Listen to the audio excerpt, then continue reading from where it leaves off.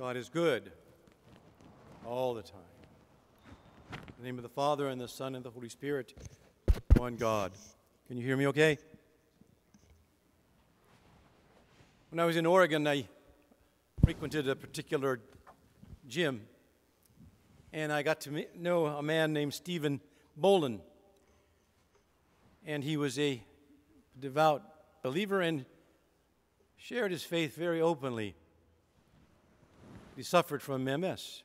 And he wrote a little pamphlet and shared it with those who would even read it. And it goes like this There was a time in my life when weakness wasn't even in my vocabulary. My drive to achieve played a big part in my becoming an Oregon All State wrestling champion. Why I pushed myself academically to achieve a postdoctoral degree in jurisprudence and set up a successful law practice. But today, my body is stricken by multiple sclerosis. The only thing certain about my future is uncertainty. I've had to learn with this, to live, live with this uncertainty. I've also learned to embrace the weakness that MS has inflicted on my life. Rather than trying to resist my weakness, I've learned to rest in it. Like most people, I had thought that great strength and accomplishments were the things to boast about.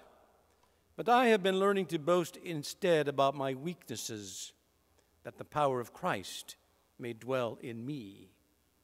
In my weakness, I've also found strength in Christ to encourage others. And I've discovered that there are very few people in the world who don't need encouragement.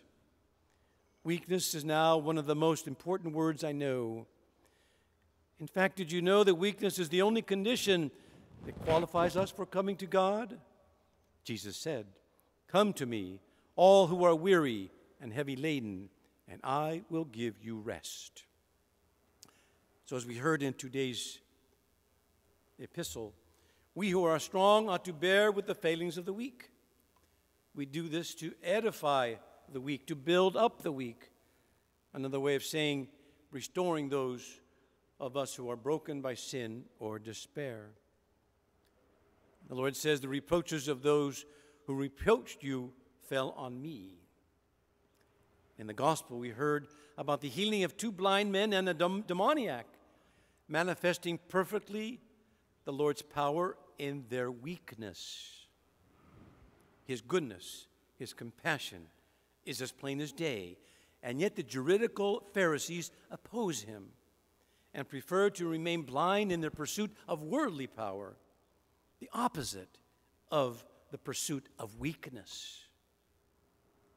That Jesus says to the blind men, according to your faith, be it done for you. There are several ways that God tests and builds our faith. You'll probably get tested on every one of them this week. Count on it. In fact, you will be confronted by all of them perhaps the same day. God tests our faith through difficulties. First Peter says, For a little while you have had to suffer great and all kinds of trials. These have come so that your faith may be proved genuine and result in praise, glory, and honor when Jesus Christ is revealed. God tests our faith through demands. He asks us to do things that are seemingly impossible. For example, in the New Testament, there are over 1,000 commands for believers to obey. Of all these commands, some of them seem unreasonable, unreasonable. Some of them, some of them inconvenient. Some of them seem downright impossible.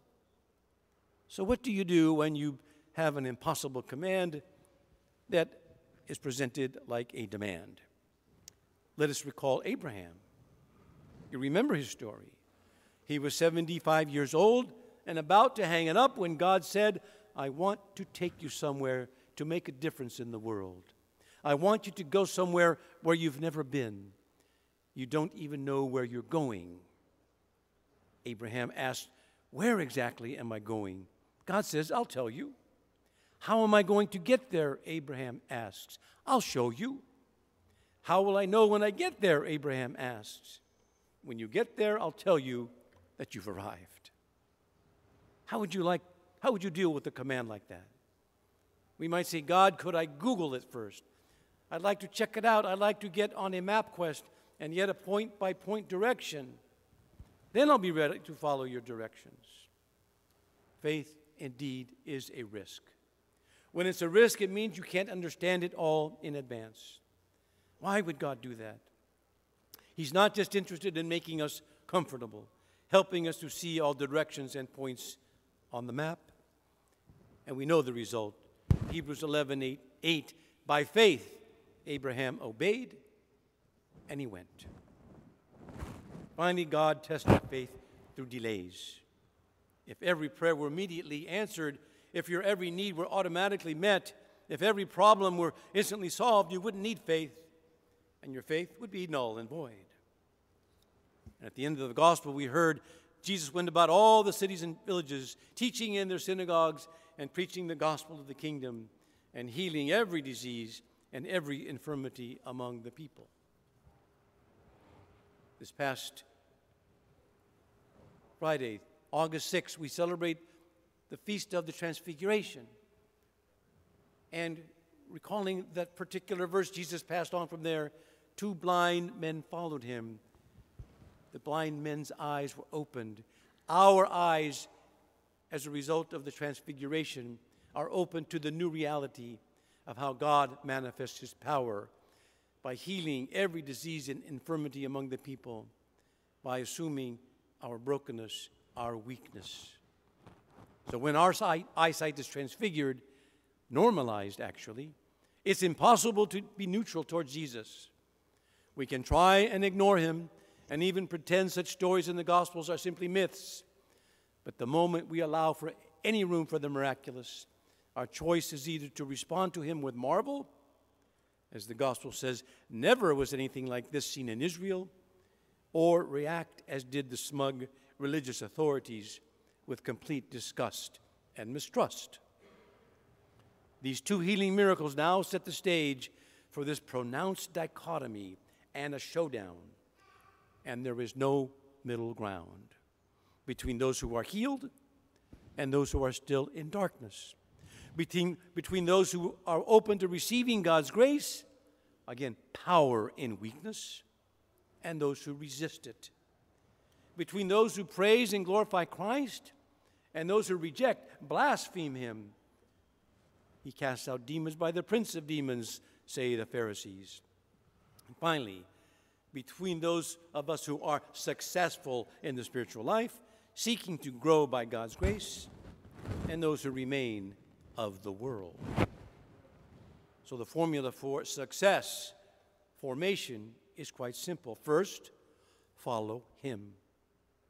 And as Jesus passed on from there, two blind men followed him, crying aloud. Second, ask him for help. Have mercy on us, son of David. And finally, believe in him. Do you believe that I am able to do this? This is the gospel of the kingdom we yearn for. That new community where Jesus manifests his power and his love for us in our weakness. This is how we need to measure out our accomplishments here at Annunciation, not by impressive new facilities or even a surplus operating budget. While these may be expressions of a dynamic parish, they must not compromise the only goal that matters the why we are here to live in such harmony with one another, in accord with Christ Jesus, that together you may with one voice glorify the Father the God and the Father of our Lord Jesus Christ, welcome one another, therefore, as Christ has welcomed you for the glory of God. Do this, and we will see each other's weaknesses as yet an, another glorious manifestation of God's love and power. May his name be glorified now and forevermore. Amen. Amen.